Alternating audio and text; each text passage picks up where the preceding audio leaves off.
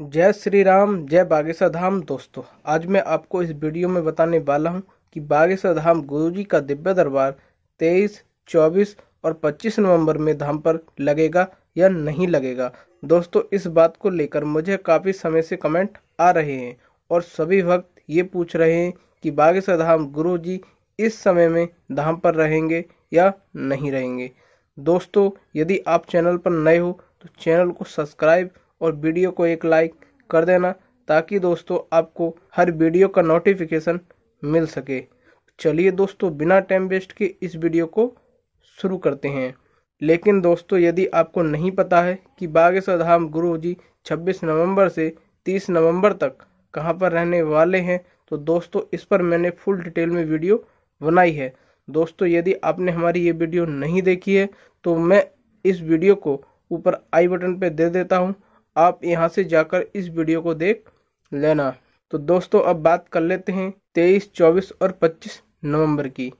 तो दोस्तों, जब मैंने इसी बात को लेकर बागेश्वर धाम में कमेंट किया कि बागेश्वर धाम गुरुजी तेईस, चौबीस नवंबर में धाम पर रहेंगे या नहीं रहेंगे, उनका दिव्य दरबार लगेगा या नहीं लगेगा तो दोस्तों, वहाँ से मुझे रिस्पांस मिला कि बागेश्वर धाम गुरु जी बीस से बाईस तक की कथा समाप्त करने के बाद में धाम पर आ जाएँगे और यहाँ पर इनका दिव्य दरबार 23 नवंबर में दोपहर 12 बजे के बाद स्टार्ट हो जाएगा।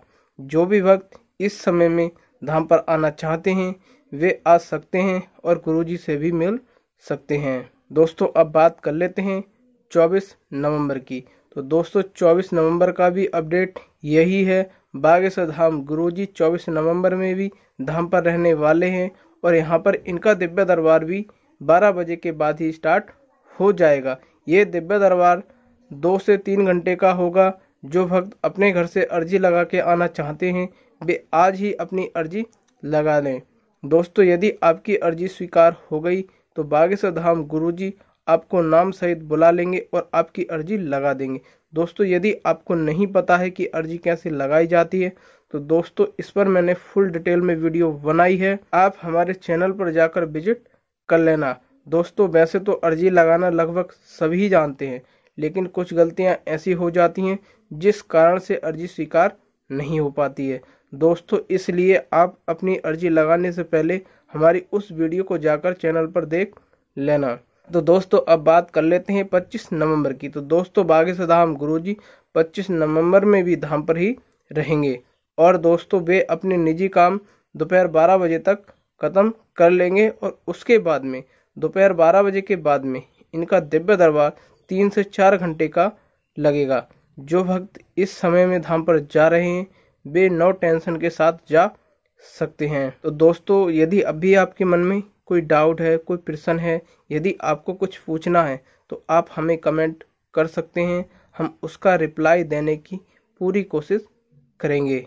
तो दोस्तों, उम्मीद है आज की वीडियो में आपको सभी बातें क्लियर हो गई होंगी। दोस्तों, यदि वीडियो पसंद आई है तो चैनल को सब्सक्राइब और वीडियो को लाइक कर देना।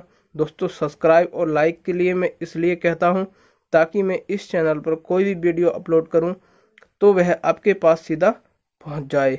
और दोस्तों, साथ में मैं आपको बता दूँ, मैंने व्हाट्सएप पर इसी नाम से एक चैनल और बनाया है। जो वीडियो आप यहाँ पर देख रहे हो, वह वीडियो आप वहाँ से भी देख पाओगे। दोस्तों, उस चैनल का लिंक मैं इस वीडियो के डिस्क्रिप्शन में दे दूँगा। आप वहाँ से जाकर हमें फॉलो कर लेना। दोस्तों, आज की वीडियो में इतना ही। मिलेंगे एक नई वीडियो के साथ। तब तक के लिए अपना ख्याल रखें और सभी बोलें, जय श्री राम। जय बागेश्वर धाम।